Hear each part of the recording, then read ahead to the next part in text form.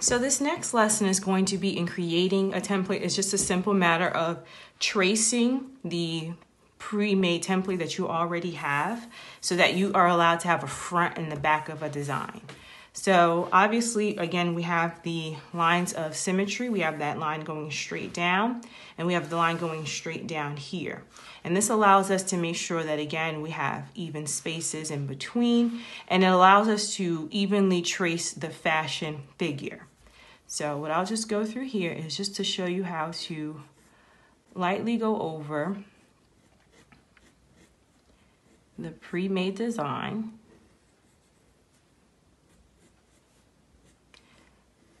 And what are the purpose of templates? Well, again, like we covered in the nine heads drawing, the purpose of templates is so that when you are going in and you are going to sketch a particular design, you don't have to first whittle through the process of creating a figure.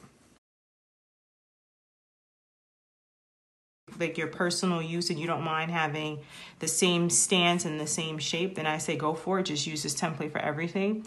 But if you're creating a portfolio for perhaps school, you'll want to have as many poses as possible as we'll cover when we cover movement. You want to make sure you have as many poses as you can possibly get so that your portfolio has a, a good variety and it shows your skill set. So this is just a basic template front view. And from here, I can go in now and add in different kinds of designs to my garment. So when we're going in and we're gonna do the dress illustration, instead of me having to say, okay, I need to draw this whole thing first and then go back and erase lines just for me to go ahead and do my dress, you have this very naked template that you can use and it's a lot easier to sort of like erase lines as you're going about creating your dress but while still using some of the more definitive lines. And then you do the same thing for the back. And as you can see here again if I lift the paper a little bit I gotta fill in her hand but as you can see it's just a basic outline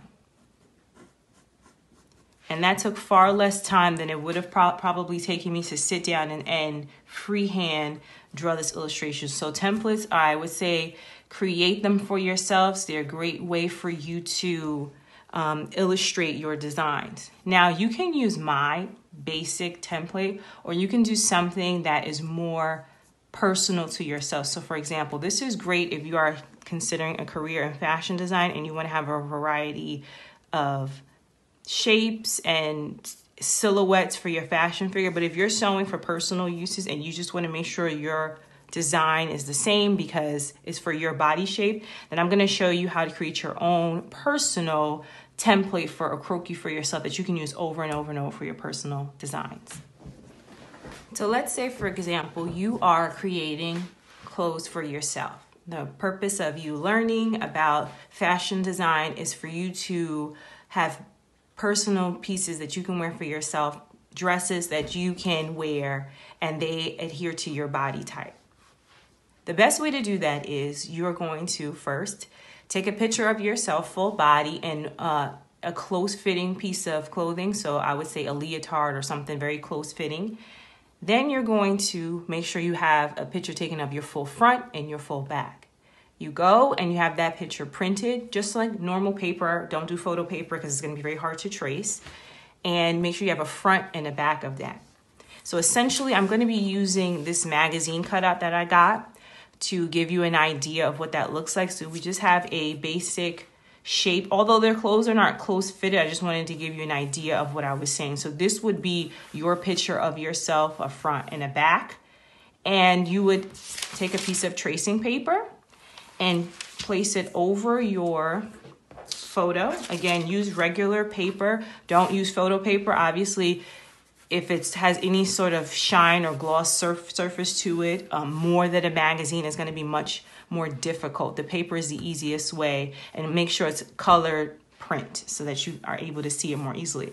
And you can use this as a template for your own personal croquis that you made that fits your body type exactly. And that way, as you're sketching your dresses in the future, they're not just to some elongated, exaggerated body type, they are for your body type. So I definitely recommend this if you are someone who's just looking to elevate your dressmaking skills for your own personal use and you want to make sure that everything is adhered to your personal desire of what you want a dress to look like and not something that is formatted on a on a less a realistic figure or elongated fashion figure. So this is just another option for you or you can learn both and just have both um, techniques accessible to you. So i'm just basically going to use a standard tracing paper.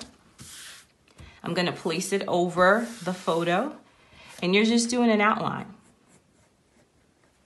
And similar to what you would do when you're using a template is you're taking that photo and allowing it to give you a realistic body type or your own body type so that you can complete your illustration.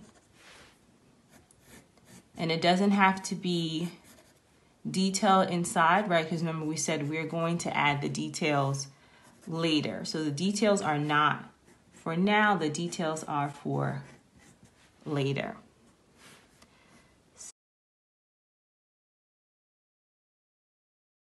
Drawn out on this template that isn't your body shape and maybe that also affects the way the garment looks on you because in your brain in your head you have a different idea of what it'll look like. So if you're creating personal templates for yourself for you to create designs for your own wardrobe I would definitely use this technique of taking a picture of yourself in a leotard, front and back, printing out that picture in color, and then taking tracing paper and tracing over that and creating a template of that for yourself that you can use over and over. And in order to finish the template, you can either use a computer program and scan it or an actual scanner and then reprint it out so that it's nice and black and white and, and rich. And that way you can use that over and over and over as we did with the previous template to just trace over that body shape and then you can begin your sketches. So this is another helpful way to create a personal template for yourself in addition to the templates that I sh- I've shown you where we use the fashion croquis, the elongated fashion illustrations. Thanks for watching. Be sure to like and subscribe. Videos are uploaded weekly covering dressmaking, fashion, lectures, and more.